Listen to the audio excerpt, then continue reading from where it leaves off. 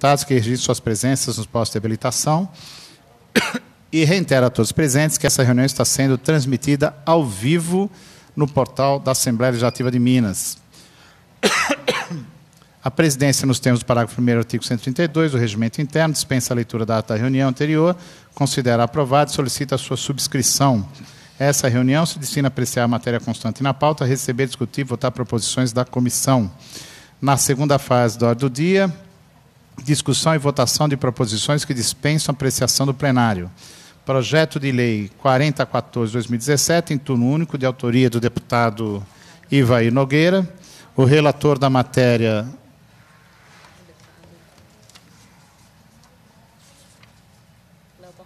Deputado Léo Portela. É, opina pela aprovação do projeto de utilidade pública na forma do original. Em discussão o projeto. Não havendo discussão, em votação projeto de lei pelo processo nominal. Como voto, deputado Dilson Melo. Pela aprovação. Como voto, deputado Geraldo Pimenta. Pela aprovação. E nós pela aprovação. Aprovado o projeto de lei. Sobre a mesa, parecer de redação final do projeto de lei 4040, 2017. Em discussão os pareceres. Encerra-se a discussão. Em votação os pareceres. Deputados que, o, que aprovam permaneçam como se encontram. Aprovado. Passa-se a terceira ordem, fase da ordem do dia, que compreende o recebimento, discussão e votação de proposições da comissão. Eu passo a presidência ao deputado Dilson Melo, que são requerimentos de nossa autoria. Assumindo a presidência, passa a palavra ao deputado Antônio Jorge, para a leitura do seu requerimento. É, nós estamos requerendo, presidente Dilson, nos termos do artigo 100 do Regimento Interno, que seja realizada a audiência pública desta comissão é, para debater projeto de lei que dispõe sobre a proibição de propaganda e publicidade de bebidas alcoólicas do Estado de Minas Gerais. Leio todos?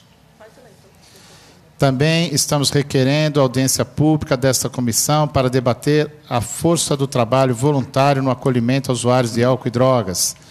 Também eh, estamos solicitando audiência pública é, para debater a interrupção dos encaminhamentos de usuários dependentes químicos às comunidades terapêuticas no programa Aliança pela Vida.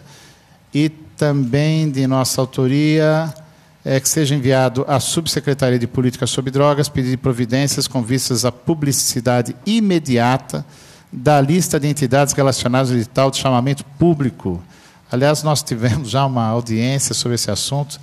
O resultado da chamada pública para exigir transparência foi publicizado em código. Eu nunca vi um negócio dessa natureza e continuamos sem acesso às entidades que venceram o edital. Em votação, os requerimentos, cada um por sua vez. Senhores deputados que aprovam, permaneçam no encontro. Aprovado. De volta à presidência, o deputado Antônio Jorge. Eh, antes de passar a palavra e consultar o deputado Geraldo Pimenta e Vossa Excelência, deputado Dilson, eu queria fazer um comentário de dois minutos, peço a Vossas Excelências a tolerância do tempo, sobre a ousadia aqui da, da, da propositura e dessa Assembleia em é, propor uma discussão é, com um artefato, com um artefato legal, o projeto de lei, sobre a questão da proibição é, ou a restrição de propagandas de bebidas alcoólicas em rádio e TV. É, nós temos um verdadeiro descalabro no Brasil, deputado Geraldo Pimenta, que é, desde 96 nós temos uma lei que regulamenta a propaganda de, de bebidas alcoólicas, também de fumígeros e outras substâncias, e pasmem para é, para virar piada a nível internacional, é difícil alguém de fora do país acreditar, essa lei que tem um, na sua direcionalidade, ela acompanha é, uma premissa internacional de restrição de, de propaganda de bebidas, ela veda a associação de propaganda de bebida com temas ligados ao sexo, com temas ligados ao esporte e com temas ligados ao bem-estar social. É, as propagandas de cerveja são exatamente isso. E desde 96 nós temos um aumento expressivo no consumo de etílicos por jovens. Há muitas evidências que as propagandas em televisão e rádio influenciam os jovens.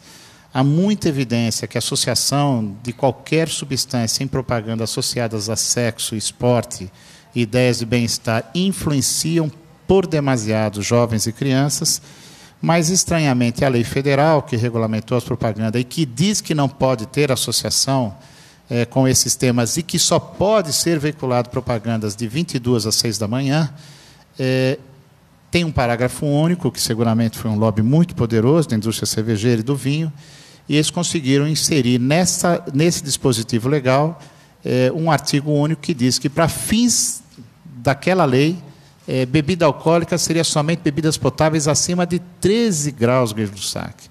Então, enquanto todo o nosso Código Civil, Código Penal, diz que bebida alcoólica é qualquer bebida potável com meio grau ou acima de meio grau gay saque, é, para fins de propaganda no Brasil, só é bebida alcoólica acima de 13 graus, uma medida que não se sustenta por nenhum parâmetro ético, técnico, é, moral. Então, é, nós temos uma campanha nacional, temos uma entidade lutando para mudar isso no Congresso Nacional, mas fomos agora positivamente surpreendidos porque a matéria chegou ao Supremo a partir de uma ação é, do Ministério Público ou de Santa Catarina, do Rio Grande do Sul.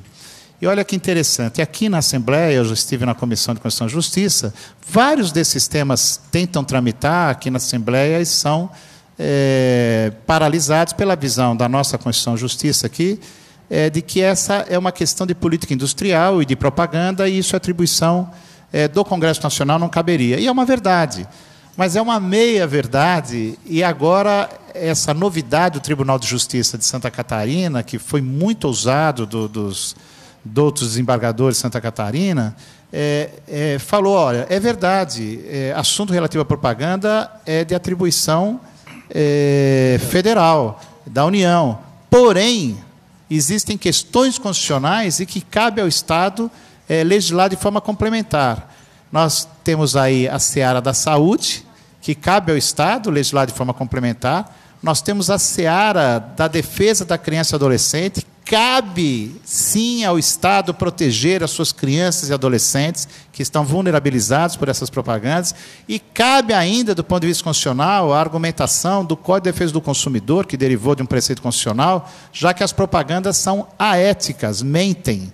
É, igual, igualzinho às propagandas do cigarro no passado, que foram banidas de rádio e TV, é, Hollywood é o sucesso, Homem de Malboro. Então, diante dessas três premissas constitucionais, o, o, o, Tribunal de Justiça de Santa Catarina, de forma correta, corajosa e ousada, disse: olha, propaganda é uma questão federal, mas defender as crianças e adolescentes, zelar pela saúde e pela ética ao consumidor, são premissas da esfera estadual também. E se em 20 anos o Congresso Nacional não tomou medida para mudar esses inconstitucionalidades, esse esdrúxulo é, é, parágrafo único, cabe sim ao Estado legislar de forma complementar para superar isso. Ou seja, o deputado Dias, o deputado Geraldo.